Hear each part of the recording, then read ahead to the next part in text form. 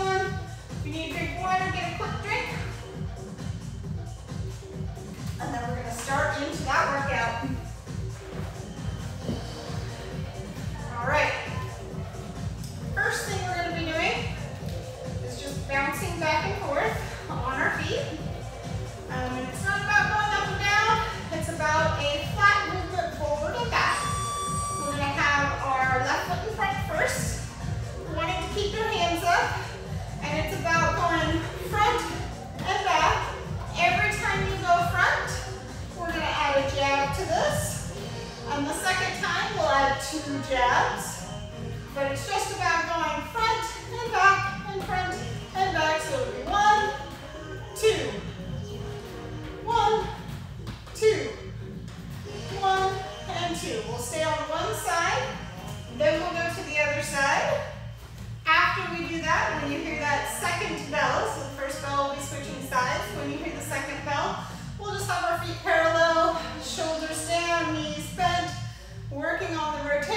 as we just do some fast punches. All right, we have about 30 seconds before we start. So if you have any other things that you need to um, address, have about 20 seconds. You can do some arm swings here, getting yourself ready. You got 15 seconds. Put our left foot in front, getting ready. We're gonna bounce forward and backwards. Keep those knees bent, stay pliable. You don't wanna do this here we go.